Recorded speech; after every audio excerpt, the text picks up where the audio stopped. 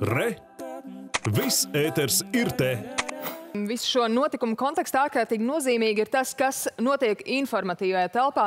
Un jau daudzkārt ir runāts arī par to, cik liela ietekme, protams, ir Krievijas propagandai, kas tiek izplatīta ar TV kanāla palīdzību. Esam sazinājušies ar Ivaru Aboliņu no Nacionālās elektronisko plašsaziņas līdzekļu padomas. Labrīt! Labrīt! Labrīt!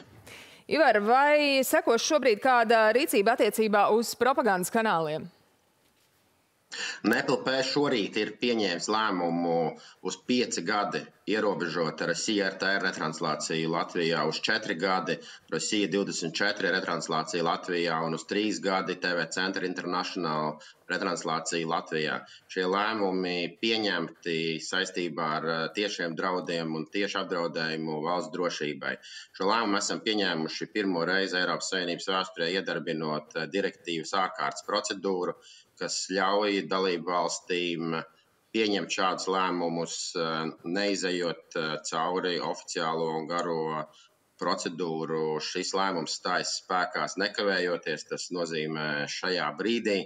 Un eh, mēs aicinām visas Eiropas Savienības dalību valstis izmantot mūsu savāktos pierādījumus un sekot mūsu piemēram un slēgt šos trīs ar Krieviju saistītos kanālus visā Eiropas Savienības teritorijā.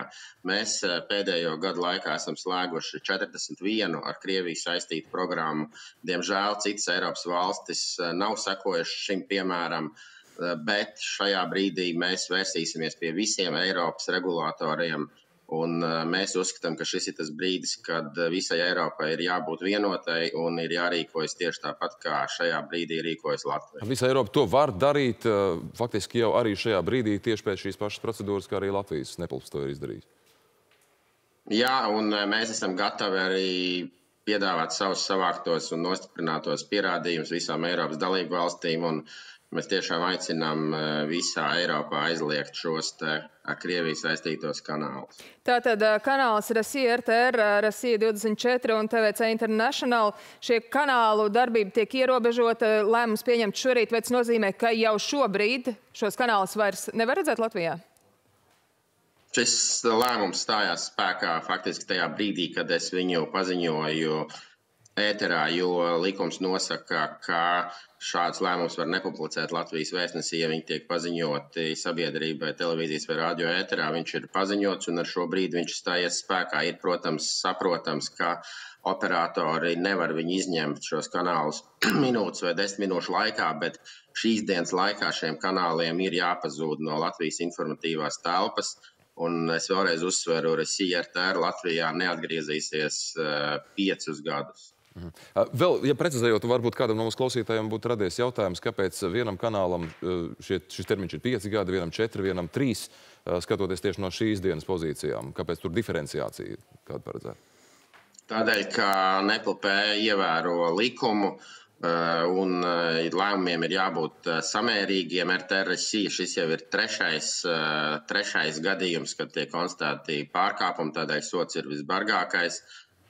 Rasija 24 bija uzsākta ierobežošanas procedūra, kura tiktu parastajā kārtībā pabeigta marta beigās. Šobrīd tas ir noticis ārkārtas gadījumā, ņemot vērā šos jaunos gadījumus. Savukārt, TV Centra International gadījumā šie pārkāpumi mūsu skatījumā bija mazāk smagi. Bet 5, 4 un 3 gadi, jebkurā gadījumā ir trīs lielākie ierobežošanas sodi Eiropas Savienības vēsturē, kuri jebkad ir piemēroti kādām programmām.